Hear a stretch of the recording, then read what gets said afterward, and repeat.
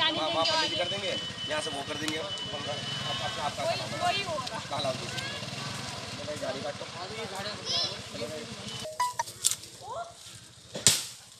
आने दे आने दे।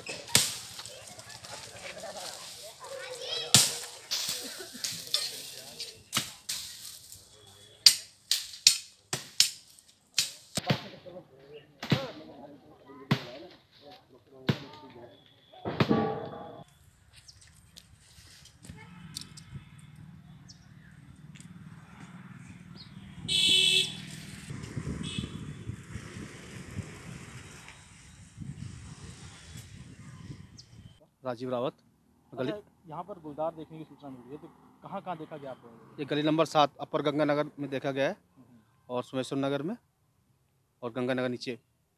R P S हाँ? जी मैंने देखा है। क्योंकि रात को आने का मेरा टाइम साढ़े ग्यारह ग्यारह साढ़े ग्यारह बजे आता हूँ तो मुझे एक बार उसकी झलक दिखी है हल्की सी।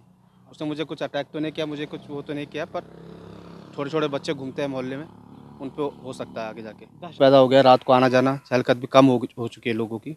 क्योंकि बच्चे छोटे छोटे बच्चे हैं जिनका टाइमिंग ट्यूशन से आने का टाइमिंग साढ़े पाँच छः बजे का है। तो उनको साढ़े पाँच छः बजे करीब ही देखा गया अंधेरे में। सुमित पवार। अच्छा गुलदार देखा जा रहा है यहाँ पर लगातार। कब से देखा जा रहा है? हाँ एक दो हफ़्ते से ये एक दो हफ़्ते से एक मादा गुलदार है जिसके दो बच्चे हैं।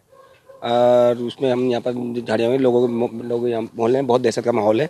वो कभी भी नौ, दस बजे के करीब कभी भी इस टाइम आम जनता चलती रहती तो लोगों ने बताया कि देखा गया, लोगों के द्वारा देखा गया और यहाँ पर कुछ, आगे कुछ हफ़्ते पहले इन्होंने एक वहाँ पर, चामुंडा मंदिर के पास एक खच्चर को खाया था।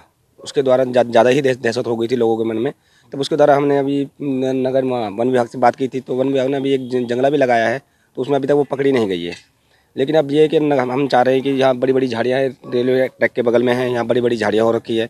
तो नगर निगम टीम के द्वारा हमने यहाँ पर थोड़ी सफ़ाई अभियान हो जाएगी, जिससे कि थोड़ा बहुत झाड़ियाँ कम हो जाए तो वहाँ लोगों को दिख जाए, साफ़ सुथरा की अपनी सुरक्षा के लिए वहाँ बन जाए। तो हम चाहते हैं कि वन विभाग टीम से हमने बोला है कि रात को दस ग्यारह बजे करीब एक बार यहाँ गश्त मार के उसको देख लिया जाए।